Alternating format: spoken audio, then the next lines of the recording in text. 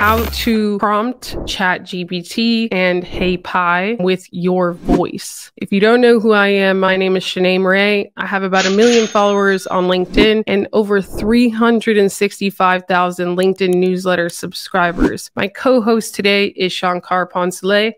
I'll let him introduce himself very briefly. Yes, hello everyone. My name is Shankar Poncelet. In terms of voice prompting, first of all, I'll explain why I'm I'm so passionate about that. Is because I feel that whenever I use my voice to explain something, I'm more likely to be more verbose, literally. I take more time to explain in detail what it is that I want to convey. And what we're going to show today is two apps. So we'll use ChatGPT, of course, because it is extremely powerful probably for general purposes the best most knowledgeable ai and then we'll also show an ai that most of you probably are not so familiar with. It's called pi or hey pi. It's a very conversational ai that also helps you work through a little bit more psychological topics if you want to. It has also definitely business use cases as well. The power of this is when you prompt something with your voice,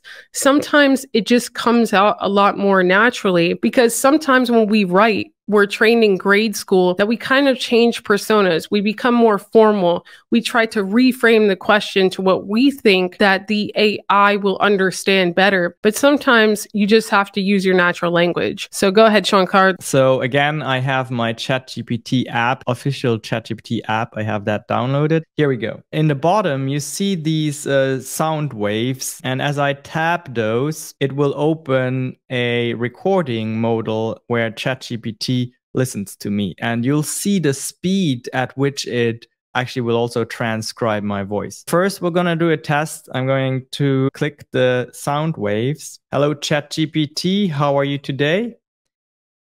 As you can see, it transcribed that in record time. Then I use the blue up arrow to uh, feed that into ChatGPT. It will probably respond to me with uh, it's just a computer program, so it doesn't have feelings. So let's get to business, essentially, right? So I'm going to take time because we can use the power of the voice now to explain a little bit what I do. I own a healthcare marketing agency in San Antonio, Texas, and I focus on direct primary care physicians. I help them create content online so that they can find more patients. As Halloween is around the corner, I am looking for a creative marketing campaign idea where I have newsletters on LinkedIn that speak to primary care physicians in the DPC movement, but that also follow the theme of Halloween so that it is a very effective marketing campaign. As I'm done talking, I tap the button and it's converting to text. And as you can see in quite an impressive uh, time, it gave us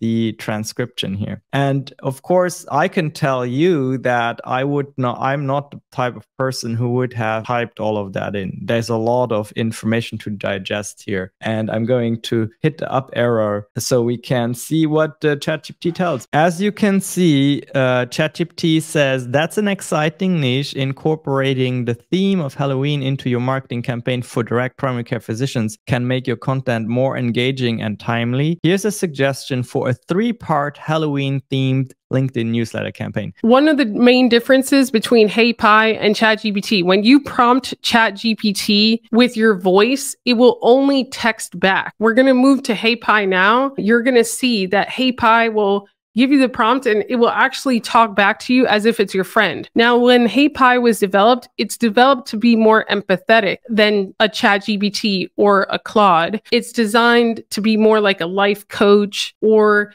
a friend to help you navigate more of life's personal challenges. The website for the app is hey, P-I, pi.com. So you're going to hear with your ears in your brain, you know, what the different voices are for Hey Pi and how it really is developing to be kind of like a friend app where it can talk back to you, not just give you the prompt. This has a, a, very nice feature where I can now go into telephone mode, right? So you see here on the right hand side, I have these three dots, click them, go into telephone mode. As soon as I do that, it will actually start being interactive with me.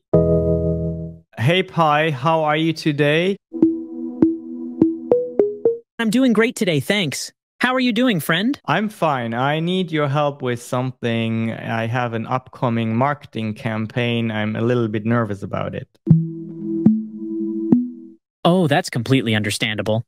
Marketing campaigns can be really stressful. There's a lot riding on them. But don't worry, I'm here to help however I can. Can you share more about the campaign and what's got you feeling nervous about it? Yes. So I am a mindset coach and I want to do something along the theme of Halloween, and I just don't have any ideas. And I'm worried that what I will create will be ridiculous in my audience's eyes.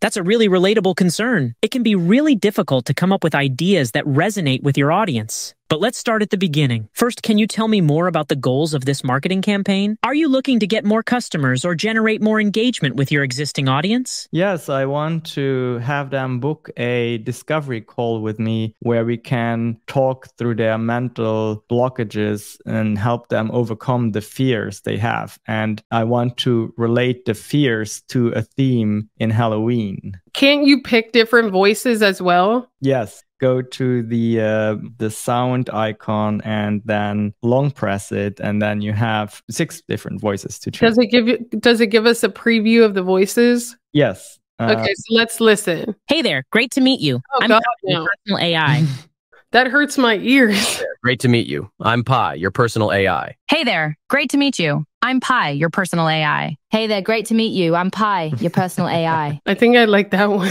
She sounds chill. hey there, great to meet you. I'm Pi, your personal AI. they need to work on these voices. Let's do something else. Hey Pi, how do I plan a six year old's birthday party and how do I invite a bunch of parents? Well, now we're moving on from mindset coaching to birthday parties. Haha. That's quite a pivot, but I'm game if you are. When it comes to planning a birthday party for a six year old, there are tons of possibilities.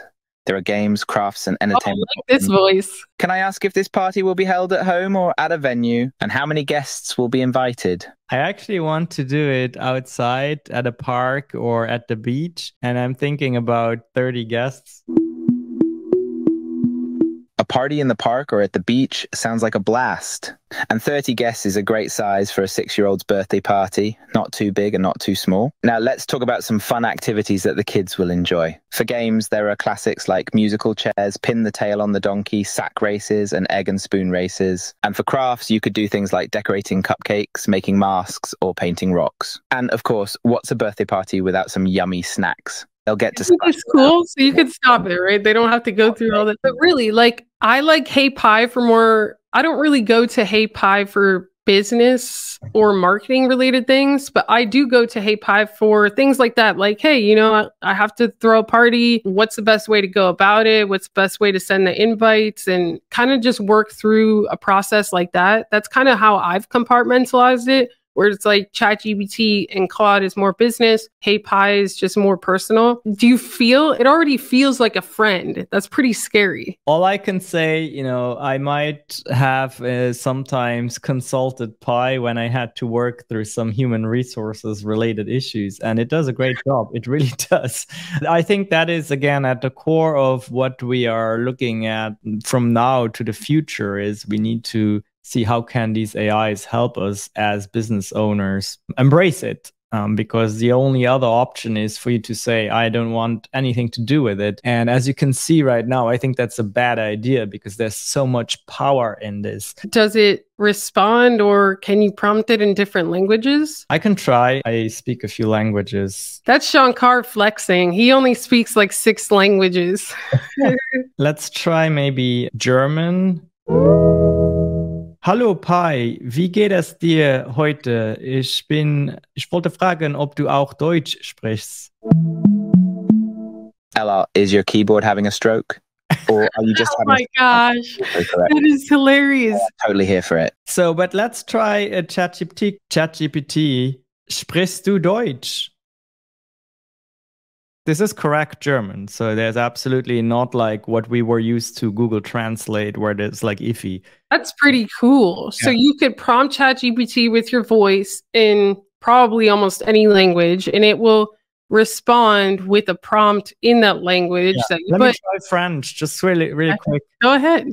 ChatGPT, est-ce que tu parles français? Et si oui, est-ce que tu peux me donner un poème euh, pour euh, quelqu'un qui est très fan de marketing? So I asked it to give me a poem for someone who likes marketing.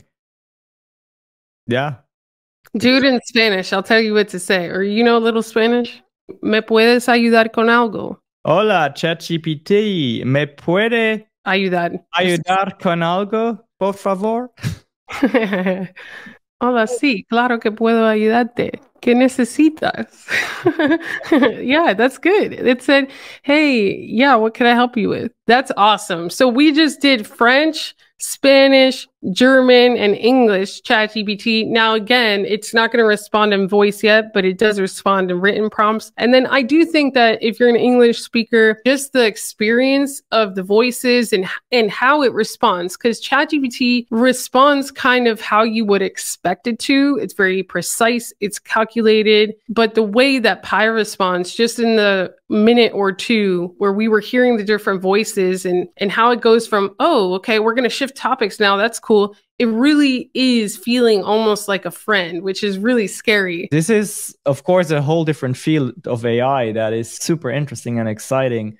We have heard of AI deciphering ancient languages because it starts doing things in the background where it it teaches itself uh, languages. So incredibly powerful, and it it just shows that we are in a time where we have so much power at the finger at our fingertips, and we just need to. The limitation is our mind, and I hope that what you take away from this session is that you understand in literally in your pocket, you can have the smartest individual you have ever met starting today. And you can walk throughout your life and you can talk to it. You can ask it business related questions, all kinds of questions. And we want to challenge you to really kind of push the boundaries of that a little bit because it will give you an incredible unfair advantage in anything that you set your mind to. god bless you subscribe to the channel and we will see you soon